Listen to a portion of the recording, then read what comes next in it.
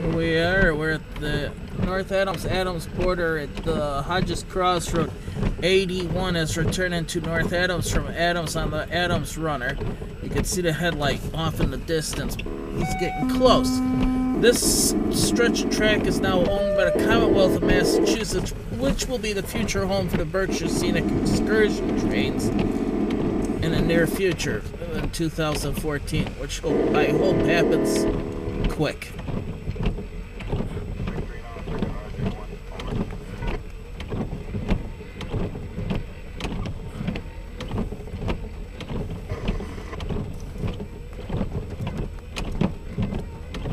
Would have shot the video outside, but with it raining, I don't feel like getting the equipment wet.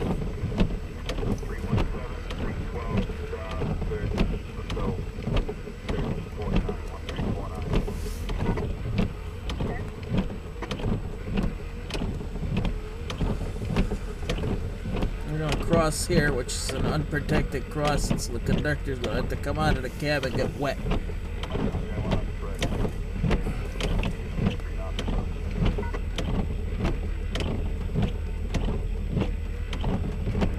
This branch line is rarely ever, uh, there's rarely ever any video or pictures taken of it because it's a seldom used branch. This track used to go from North Adams to Pittsfield, Massachusetts.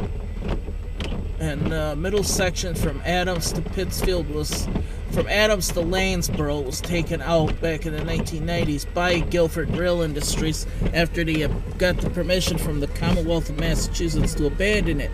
The lower section from Pittsfield to Lanesboro is still intact but abandoned by the Housatonic Railroad, and the upper section is owned by the Commonwealth of Massachusetts now. Formerly Guilford Rail Industries, this idiot is gonna get clobbered, I guess.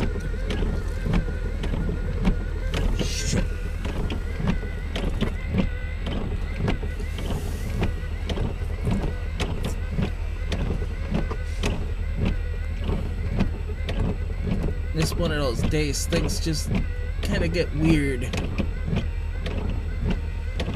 How the heck couldn't he go out the engineer's door? He's got to go the long-about way.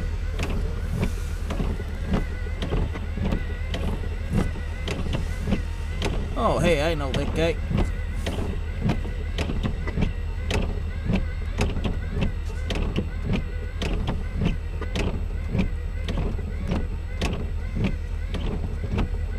This got a different crew.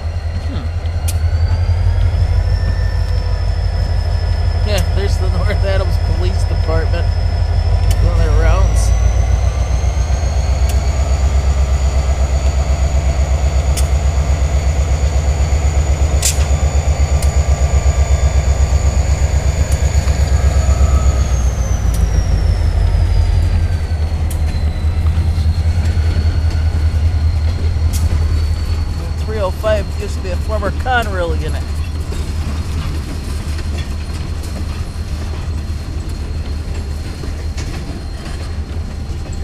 Now, bunny graffiti artist. Man, that's sloppy.